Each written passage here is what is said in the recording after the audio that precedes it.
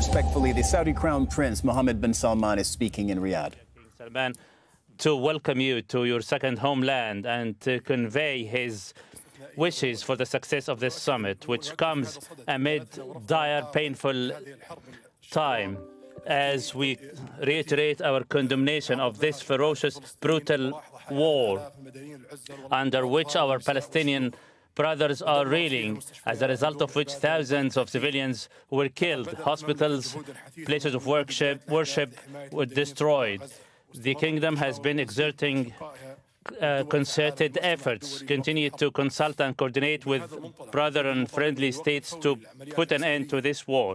And based on this, we immediately call for the cease of military operation, provision of military, uh, uh, provision of humanitarian corridor, and release of captives and prisoners and spare of innocent civilian lives. This is a humanitarian catastrophe that proved the failure of the international community and the Security Council to put an end to Israel's gross violations of international laws and the international humanitarian law, and proves the dual standards adopted by the world that will undermine peace and security of the world. This requires us to concerted efforts and effective actions in the face of this re painful, regretful, and we call for the end of siege, delivery of aid, uh, medical supplies, and provision of other sup supplies, and the exit of the victims and patients.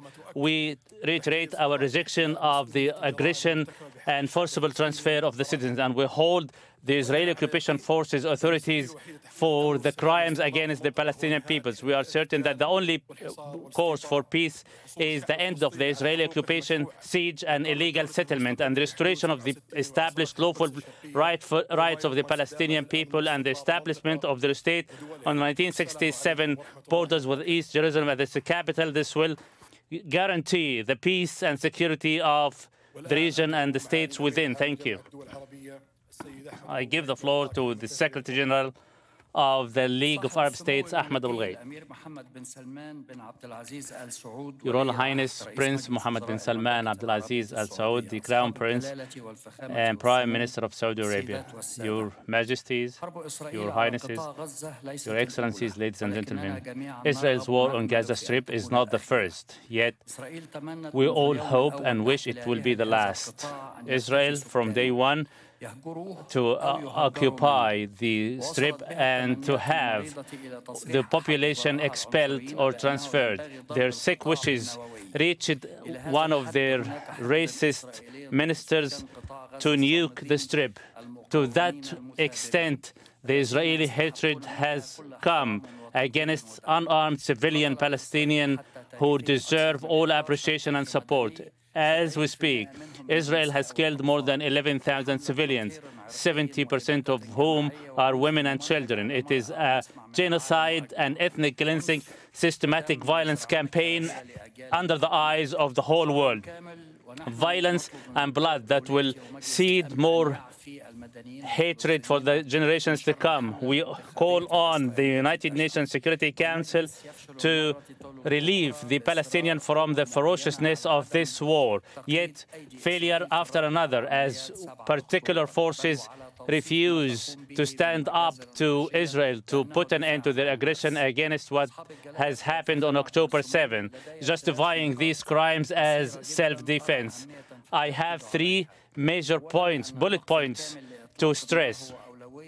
First, the ceasefire, total and lasting, is a priority which should be worked towards. Priority that transcends above any other consideration.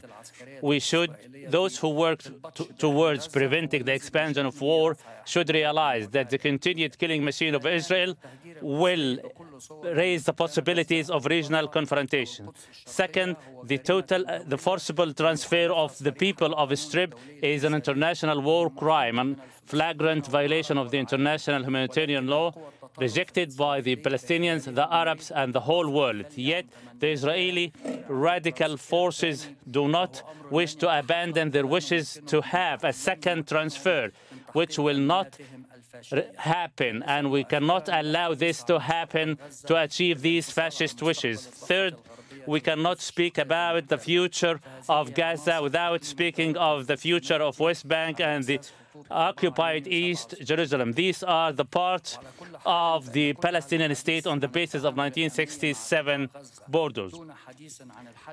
Addressing the security and military solution towards Gaza without any political or, or diplomatic horizon is a waste of more time, and it will result in bringing us back to square one.